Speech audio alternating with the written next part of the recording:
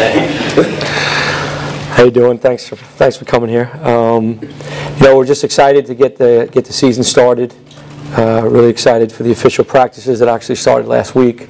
Um, thought there was excitement surrounding it. I thought we had great energy. Uh, guys are playing with great aggressiveness right now. Um, you know, we're, we're up and down a little bit uh, probably from day to day and even practice to practice uh, as we get started because we're just trying to implement so much uh, in regards to our philosophy, our style of play. Uh, but the guys been giving an honest effort and working really hard right now. Things are a little fragile. We got to stay extremely healthy uh, this year to, to help us achieve some of our goals. Um, but the guys, again, the guys are working pretty hard.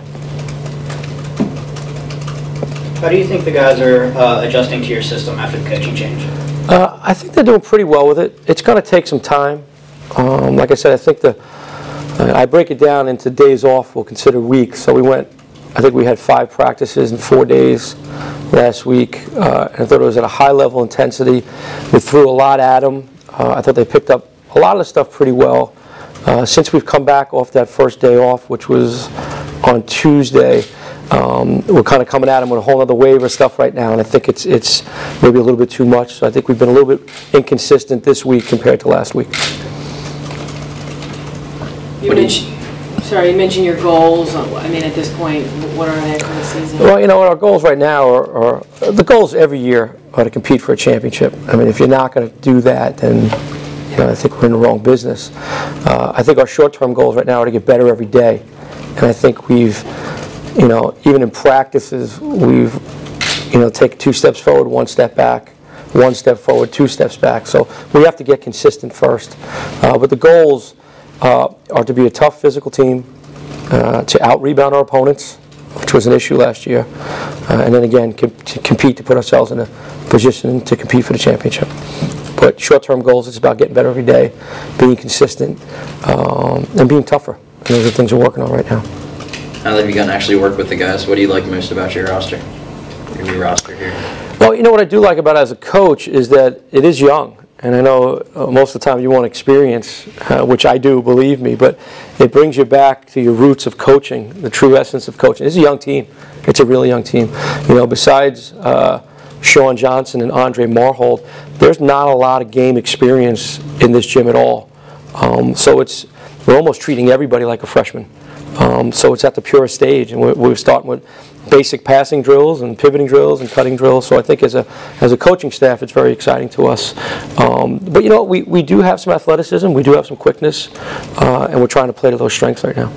Those freshmen that are coming in, who has anyone stuck out to you that is going to? Because obviously they're going to have to get some playing time. Yeah, they are who stuck out to you that might get the majority of that? Ah, you know what? They've all they've all done a pretty good job. I think they all bring some some pieces that are some major positives. You know, the um, Derrick Colter has been playing really well, great speed, and aggressiveness, but he makes some fresh mistakes at times. I think Marvin Binney as well. They're they're different from each other as point guards, but we're going to need both of them as a two-headed monster uh, throughout the year. Quevin Winters, uh, you know, has the ability to put the ball in the basket. I think they all just need to slow down a little bit. Uh, Jeremiah Jones has actually had a very good second week. I think first week kind of taking everything in, uh, but this second week where he started, I think he's, he's making some strides. He's doing a pretty good job. So I think we're excited about all of them.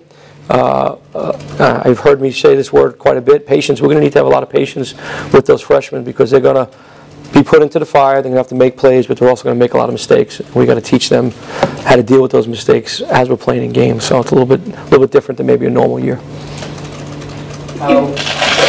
Okay, you guys were ranked last in the preseason poll. How did that affect your game plan coming into practice? It hasn't, didn't affect it, not one bit.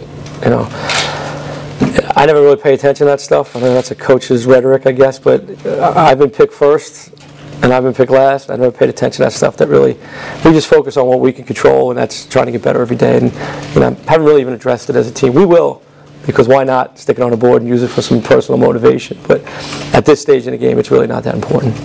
You talked about the youth and uh, how they'll have to step up, especially now that uh, B.J. Monteiro, Eric Evans graduated, T.J. McConnell transfer. Um, do you think like maybe guys like Jerry Jones who showed flashes uh, last year will kind of need to step forward and you know, kind of be more consistent throughout the season? He's going to need to, you know, for us to be able to compete in this league. I mean, this league's a monster, and, and I think, you know, those guys that we lost, um, those are some really good players. They're really good players, you know, and what's happening is you're trying to replace them with guys that haven't played much. Uh, that's a difficult thing to do, but Jerry has the potential to be a very good Atlantic 10 player, and he's shown that at times. I think he needs to take on that responsibility, which he is, um, and he's going to need to improve significantly throughout the year. Uh, but he's had some real bright spots. He's got great energy level. He's got great body, his length. He plays really hard. Um, his shooting has been a little bit up and down, but he can shoot the basketball. But guys like you know, Jerry Jones and Andre Marhold, and even Sean, like those guys have to lead this team. You know, they, they have some experience. Kadeem, he's another one that has to take responsibility. He's got some playing time under his belt, uh, but these guys have to take that on as these younger guys develop. Is this, um, is this the same blueprint you more or less used at LIU? Obviously, that worked, or has been adjusted and tweaked a little bit based on your experience there? Yeah, I think both. Both. It's, I'm certainly following the same uh, print, the same general idea, because it, very, very similar circumstances. Uh, Obviously, this is a different league and a uh, much more challenging league, but you got to have patience. I think I'm a little bit uh, more experienced with rebuilding, a little bit more mature. Obviously, you can tell by the gray hairs, uh, comes along with it. Um, so when I was a little bit younger, taking over that team, I think I got a little bit more frustrated early when things weren't going right. Where I think my poise and maturity of understanding that, you know, as long as we're getting better, um, you know, we're not going to hit a home run every time we hit the court. So we just make sure we got to get better so that we're really playing good basketball at the end of the year, and also that we're making the right strides in building a program. You know, we can't lose fact of what we're trying to do here. It's not just trying to build one team for one year. It's trying to build a program, and that, that takes a while, and that has to have some patience, and we have to do it the right way, and that's really what we're focusing on. Talked about the, the conferences in general. What do you think of the additions of VCU and Butler? And it's obviously a big addition on the men's side. Yeah, I think it's great for our conference. I think it's great when you bring in two quality institutions with great basketball programs, great, you know, tradition, at least, you know, recent tradition. Uh, It makes our conference one of the top basketball conferences in this country, and I think that's great for Duquesne. I think it's great for us. We want to be in this. Um, We just got work to do to be able to compete with those guys right now.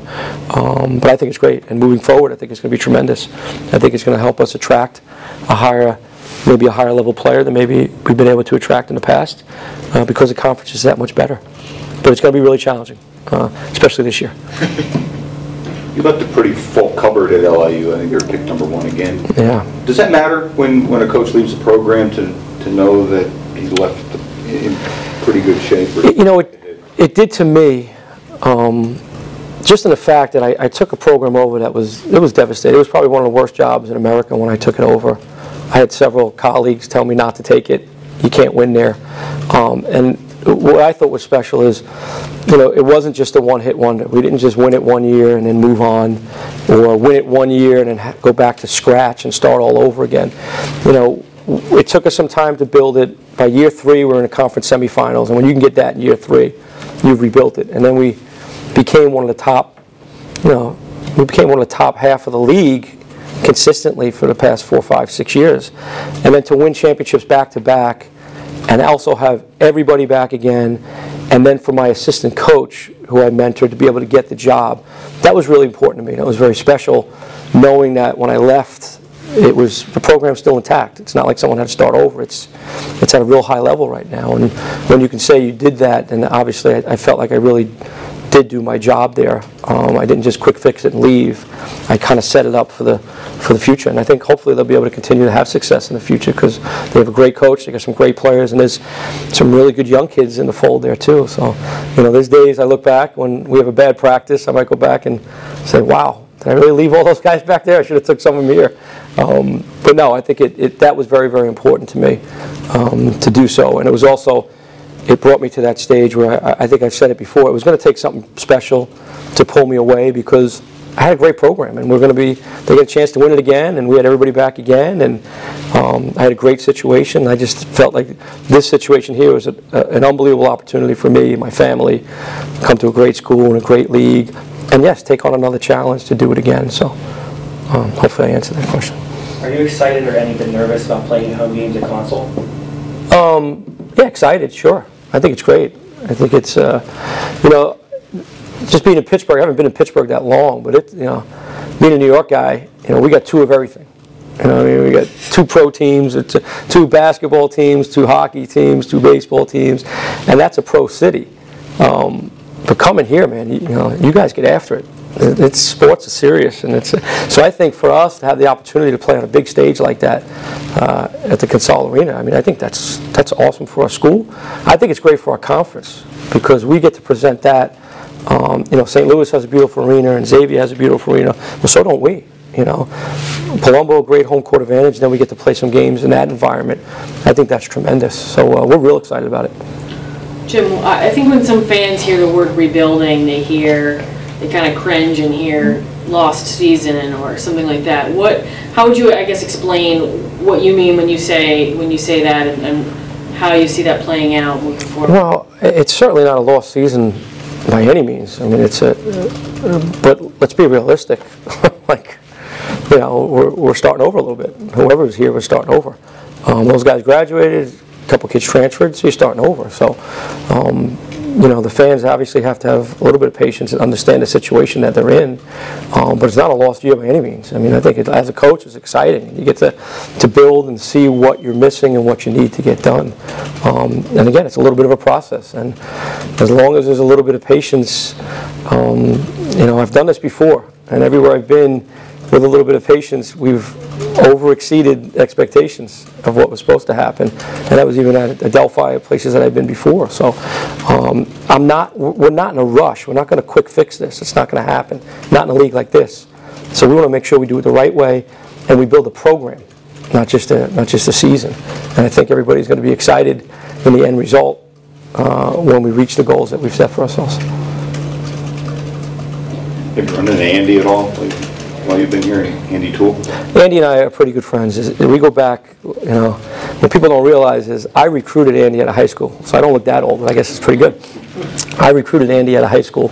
Uh, He visited Bentley College when I was an assistant there, and so I've known Andy since he's been about 18 years old. And, um, you know, Andy's got me involved with some things locally, like Coaches vs. Cancer, and, and we speak quite a bit. He's, you know, I think he's a fanta- fantastic young coach. Well, take the word young out. He's just a fantastic coach, and he's doing a, a great job over there. And, you know, I'll support him as best I can.